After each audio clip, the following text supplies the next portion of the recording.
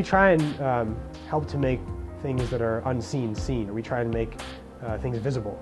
And that's really important in biology because a lot of times uh, you just don't know when you look in a, in a microscope if, if uh, molecularly what you think is going on is actually what's going on. And I think what we do is very important because we try and get closer and closer to the idea of molecular level imaging. For everything that we publish, we try many things that don't work. And um, you know that's what we should be doing, you know, always. Uh, so there's a there's a fair amount of failure, and a lot of times like we learn the most when when things don't work you, you sort of have to develop a thick skin because frankly most of the stuff we, we try like doesn't work. I use physics to invent, design, and build new kinds of microscopes to see things that no one's ever seen before. So my boss Hari was giving a talk at uh, my university, and I saw the abstract of his talk, and I thought I knew some things about optics, and I was pretty sure that what he said in his abstract was impossible. So I went to his talk to tell him that he was wrong. he was not wrong. I was very wrong. So at the end of the talk, I asked him for a job, uh, and that's how I ended up here. For about 100 years, there was, there was a belief, more or less, that there was a hard limit for uh, the sharpest image that an optical microscope could take. And then in the past decade or so, there have been a number of breakthroughs that uh, show no, that's, that's not really true. There were assumptions. One thing that we've invented recently is, is a microscope that, will, that provides double the resolution of a conventional microscope you can buy, uh, and is also applicable in sort of relatively thick samples like embryos. Uh, this is sort of a new thing. Uh, resolution doubling microscopes have existed before, but they only are good for single cells.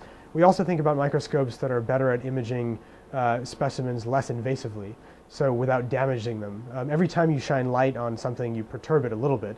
And, and uh, most microscopes out there today um, are sort of unsuitable for long-term imaging of, let's say, embryos or other sensitive live biological specimens. So a good deal of what we think about is how to make microscopes better suited to that study. An example of a more biological uh, problem we're, we're genuinely interested in is how the nervous system wires inside uh, living organisms, inside a very simple organism like a worm.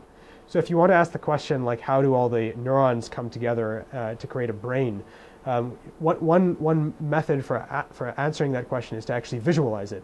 But the data set you know, for that problem doesn't exist yet because most microscopes that are available will fry the embryo in the course of imaging all of these different cells um, in time and in three dimensions. So one thing that we're doing in collaboration with groups at Yale and Sloan Kettering is we're providing microscopes that actually let you image um, samples for uh, many hours, about 14 hours, and non-invasively to see this uh, brain develop inside an intact organism. What we kind of hope is that by studying the way that the nervous system forms inside the worm, we'll discover general rules about how neurons seek out other neurons that would be ap applicable in, in higher order organisms like the fish, the fly, or the human. The future of our work, I think, will be, you know, make a few general purpose tools, try to genuinely pick, you know, a few of the workhorses of the field that everyone uses, make them slightly better. And then, and we've already started to do this to some degree, go looking for specific problems in biology, important problems that are resistant to existing techniques, and design specific techniques to solve those exact problems. You know, I, I, hope that the kind of work that we do, um, the sort of approaches we develop, enable other people to go further than, than we can. And so, um, you know, the, the, the, idea is that whatever simple rules we might discover in the worm, uh, you know, almost certainly are not going to be sort of exactly the way things are in the human, but, you know, one, one could imagine sort of scaling these things up.